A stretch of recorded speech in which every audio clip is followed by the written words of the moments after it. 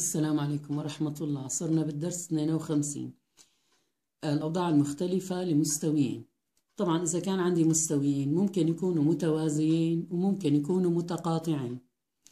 طبعا ممكن واحد يقول لي إنه ممكن يكونوا متعامدين تعامد هو حالة خاصة من التقاطع. يعني متعامدين يعني لهم فصل مشترك. وأكيد حيطلب مننا كتابة الفصل المشترك حتى لو كانوا متعامدين. أولا المستويين متوازيين. ليكن المستويين مثلا x ناقص y زائد 3z زائد 1 يساوي الصفر وعندي مستوي q 2x ناقص 2y زائد 6z زائد 7 يساوي الصفر أثبت أنهما متوازيان. أولا نوجد ناظم المستوي B هو واحد ناقص واحد ثلاثة. وناظم المستوي Q هو اثنين ناقص اثنين ستة. نلاحظ أن واحد على اثنين يساوي ناقص واحد على ناقص اثنين ويساوي ثلاثة على ستة. إذا الناظمي المستويين مرتبطين خطيا أي متوازيين وبالتالي المستويين B متوازيين. إذا إذا كان شعاع الناظمين مرتبطين خطيا كان المستويين متوازيين. الحالة الثانية المستويين متقاطعين. مثلا المستوي P هو ناقص X زائد Y زائد Z يساوي 3 والمستوي Q اتنين إكس ناقص واي زائد اتنين زد يساوي الواحد. طبعا واضح إنه ناقص واحد على اتنين لا يساوي واحد على ناقص واحد وبالتالي هذين المستويين غير متوازيين فهما متقاطعين. علينا إيجاد التمثيلات الوسيطية ل d الفصل المشترك لهما. إذا أوجد التمثيلات الوسيطية للمستقيم دي يلي هو فصلهما المشترك. طبعا نقوم بالحل المشترك لجملة المعادلتين. هون عندي معادلتين وثلاث مجاهيل فحيطلع عندي عدد غير منتهي من الحلول وهي هي التمثيلات الوسيطية للفصل المشترك. حنكتب هالمجموعة غير المنتهية من الحلول بدلالة وسي... بدلالة واحد فيهم إما X أو Y أو Z طبعا هون نقوم بجمع المعادلتين بتروح ال y مع الناقص y. إذا بالجمع طبعا نحن بنختار الطريقة حسب المعادلتين اللي عاطيني إياهم. x ناقص y زائد y بتروح z زائد 2 z هي 3 z يساوي 4 طبعا هون يا إما بنكتب ال x بدلالة z يا إما بنكتب الزد بدلالة الاكس حأكتب الاكس بدلالة الزد لأنه الاكس ما إلها أمثال. من هنا الإكس تساوي ناقص 3 زد زائد 4 إذا اعتبرنا هون إنه z هو الوسيط t يبقى علينا حساب ال y بنعوض إما بالمعادلة الأولى أو الثانية. رح أعوض بمعادلة Q نعوض بمعادلة Q 2 x أي 2 بناقص 3 زد زائد 4 ناقص واي زائد 2 زد يساوي الواحد. ناقص 6 زد زائد 8 ناقص واي زائد 2 زد يساوي واحد. ناقص 4 z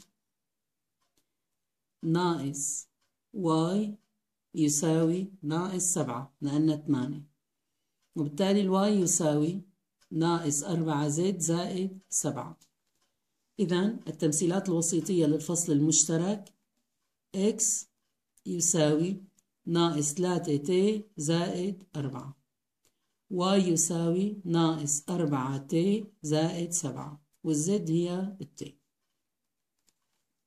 والزد هي الت إذا لكتابة التمثيلات الوسيطية للفصل المشترك لمستويين نقوم بالحل المشترك لجملة معادلتيهما.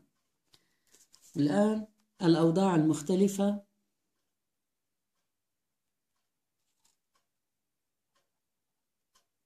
لمستقيم ومستوي. لمستقيم ومستوي. طبعا آه، يمكن أن يكون المستقيم قاطع للمستوي. ويمكن أن يكون المستقيم يوازي المستوي. الحالة الأخيرة هي حالة يعني ما كتير مهمة. المستقيم واقع في المستوي. هناخد أولا مثال على المستقيم يقطع المستوي بنقطة. المستقيم يقطع المستوي بنقطة. ليكن المستقيم إذا تمرين ليكن المستقيم د x يساوي 2 t ناقص واحد. Y يساوي t. وz يساوي واحد ناقص 3 t. والمستوي P هو x ناقص y زائد z يساوي الواحد. طبعا نقوم بتعويض التمثيلات الوسيطية للمستقيم بالمستوي. فنحصل على معادلة بالمجهول t. X هي 2 t ناقص واحد. الواي هي t. الزد هي واحد ناقص 3 t يساوي الواحد هون بحل المعادلة. إذا طلع معي قيمة للمجهول t للوسيط t كان المستقيم قاطع للمستوي. إذا حصلت على معادلة مستحيلة الحل فالمستقيم يوازي المستوي. إذا حصلت على مطابقة صفر يساوي صفر فالمستقيم واقع بالمستوي 2 t ناقص t هي t t ناقص 3 t هي ناقص 2 t ناقص واحد زائد واحد يساوي الواحد من هون ال t هي ناقص نصف. إذا وحصلنا على قيمة لل t فالمستقيم يقطع المستوي بنقطة. طبعا أكيد حيطلب مني إحداثيات نقطة التقاطع I بنعوض التي بنصف هنا. بيطلع ناقص واحد ناقص واحد هو ناقص اثنين. الواي هي ناقص نصف والتي هي واحد زائد ثلاثة على اثنين. إذا اي ناقص اثنين ناقص نصف. خمسة على اثنين هي عبارة عن إحداثيات نقطة التقاطع. الآن مثال على المستقيم يوازي المستوي. إذا مثال آخر المستقيم يوازي المستوي. لدينا المستوي P 2x زائد 3y ناقص z يساوي الصفر ودي x يساوي s زائد واحد y يساوي 2s زائد واحد وزد يساوي 8 اس ناقص 3 نعوض التمثيلات الوسيطية بمعادلة المستوي.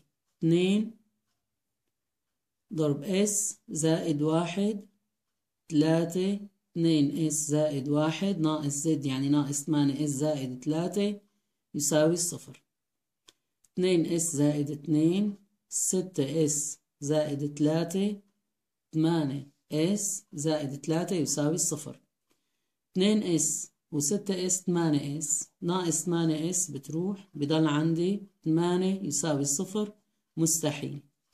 من هنا نقول أن d يوازي المستوي P ونتابع في الدرس القادم.